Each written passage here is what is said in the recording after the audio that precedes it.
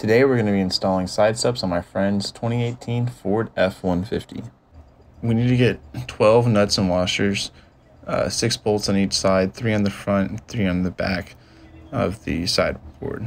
Uh, the bolt size is M8 1.25 and we picked up 12 nuts and 20 washers for about 12 bucks at AutoZone and the sideboard is going to snug over those uh, three bolts sticking out and that's where you're going to connect your washer and nut.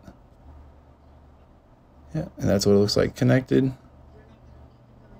And as you can tell it looks pretty clean going around.